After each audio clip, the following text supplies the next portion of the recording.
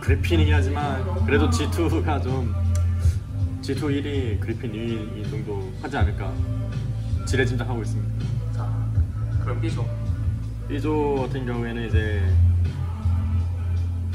아무래도 모든 분들이 예상하고 있듯이 펀플러스 피닉스가 1위를 할 것 같고 2위는 개인적으로 이제 그래도 유럽 팀 스플라이스 팀 2위라고 좀 또 짐작하고 있습니다.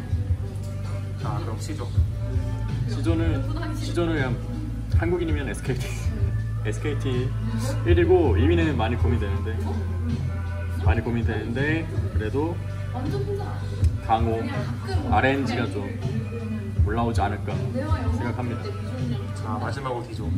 지조 지조 지조가 진짜 거의 수능 문제급으로 어려운 것 같은데 약간 그래도 1위는 1위는 그래도 TL TL 그래도 미, 이번엔 미국 팀이 좀 올라오지 않을까 그리고 2위에는 담원.